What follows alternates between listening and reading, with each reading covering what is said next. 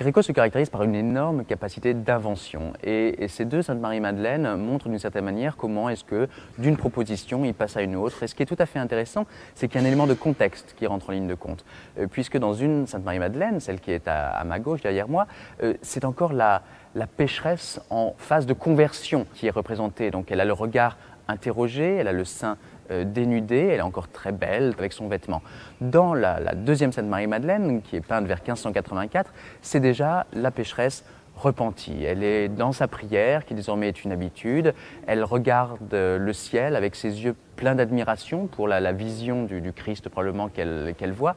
L'élément de contexte, c'est que l'Église prend une décision, fait un petit décret et euh, insiste pour le fait qu'on ne représente plus Marie-Madeleine comme une pécheresse, comme si l'Église avait peur qu'elle fasse le chemin inverse, en fait qu'elle décide finalement de ne pas se convertir pour passer à une iconographie beaucoup plus sage qui est celle de la Marie-Madeleine déjà convertie et euh, déjà pénitente et en train de faire ses exercices de piété.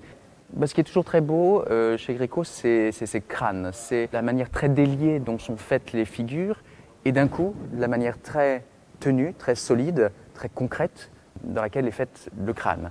Comme si la mort s'invitait un tout petit peu dans ce paysage de peinture. Et, ça aussi, ça joue la temporalité que Gréco met dans, ses tableaux.